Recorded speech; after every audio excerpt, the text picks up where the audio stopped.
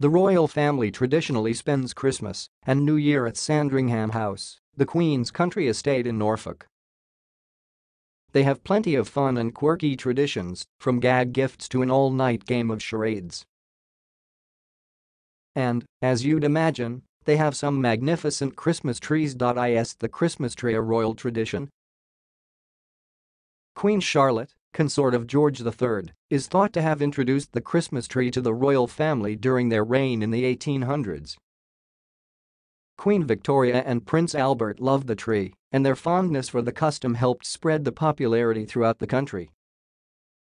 Today, the Queen and the royal family will usually put the final touches on their Christmas tree.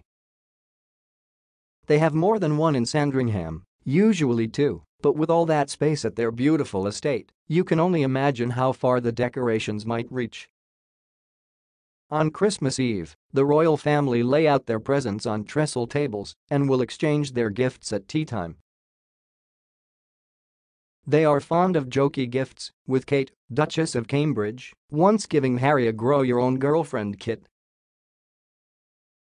Prince Harry once gave his granny, the Queen, a show cap which read, Life's a BCH. All members of the royal household will receive Christmas presents from the Queen, and Her Majesty will personally hand out presents to some members of the royal household at Buckingham Palace and at Windsor Castle.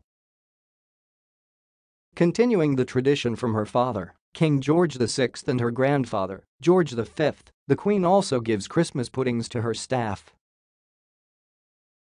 About 1,500 Christmas puddings paid for by the Queen are distributed to staff throughout the palaces, staff in the court post office and palace police. Each pudding is accompanied by a greeting card from the Queen and the Duke of Edinburgh. The Queen and the Duke of Edinburgh also send around 750 Christmas cards, which will usually feature a family photo.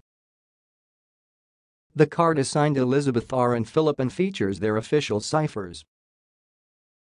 Family, friends, and members of the royal household will likely be the recipients of the royal Christmas card, but British and Commonwealth Prime Ministers, Governor-General and High Commissions may also be sent one. The Duke of Edinburgh has a further 200 cards sent out at Christmas to different regiments and organizations close to him.